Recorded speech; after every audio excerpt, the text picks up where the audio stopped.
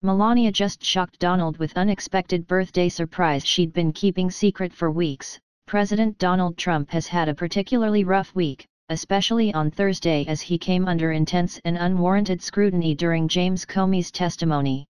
Knowing the stress of the situation and that the liberals were desperately hoping this would lead to her husband's investigation, First Lady Melania Trump held out on some news she had for Trump, which she planned to surprise him with on his birthday next week.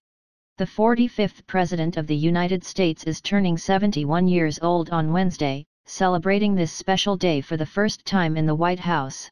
While being the leader of the greatest nation in the world is rewarding, it's been exceptionally challenging, especially with the number of people constantly plotting his demise. Despite all of this, Trump has managed very well, kept his promises, and worked hard to get the country back on track as he said he would. He's forged ahead through some of the hardest circumstances and deserves something special on his birthday, for which Melania has planned an unforgettable surprise. The First Lady couldn't do this on her own and called on the only people who could make her husband's birthday perfect with the incredible gift idea she had in mind.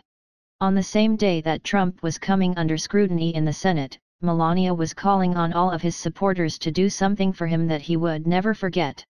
In an email that went out to his supporters, the First Lady asked everyone to sign something for him.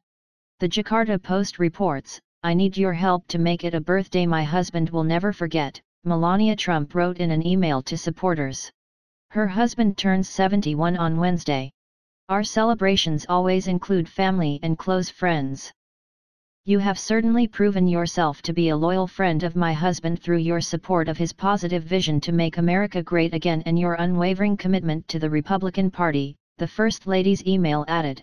Friend, Donald will be glad to hear from friends like you who have meant so much to his and our party's success, her party plea continued.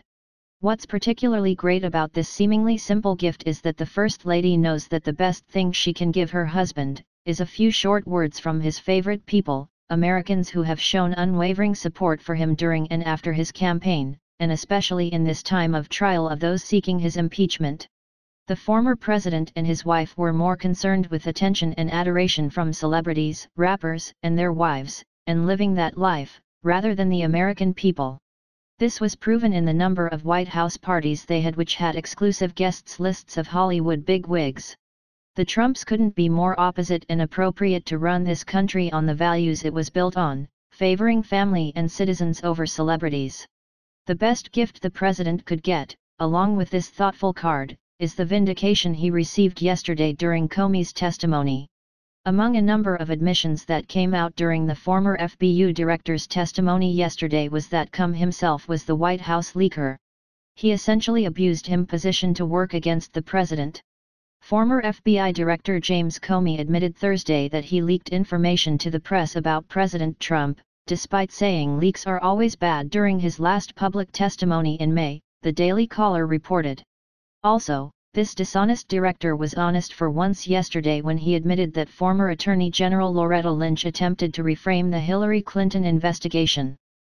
Comey came clean in his testimony that former AG Lynch told him to immediately stop calling the Hillary probe as an investigation or a probe and start referring to it simply as a matter, as to diminish the importance of it. At the conclusion of this long and stressful day, Trump announced what he's been wanting to say since the scrutiny into his claims about Comey began. He victoriously took the podium and said, The failed bitter voices in Washington will do everything in their power to stop us from this righteous cause. He then took the opportunity to blast his biggest detractors, the deep state, by saying, They will lie. They will obstruct. They will spread their hatred and their prejudice, but we will not back down from doing what is right, we are going to fight and win and have an unbelievable future and it's going to be together. That's not just a huge gift for him, but to the conservative movement who have supported our president. Please do not forget like on videos, and subscribe, and comment because your voice matters, and visit our page on Facebook, and like them, and follow up. And thanks for watching.